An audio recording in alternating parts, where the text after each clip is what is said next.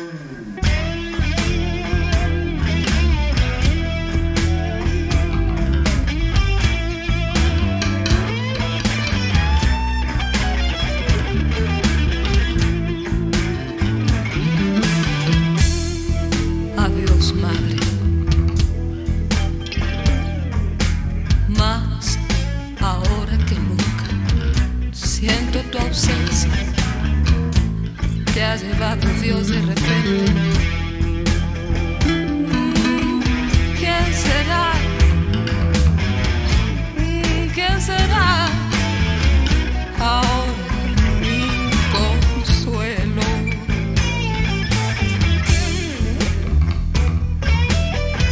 tus caricias,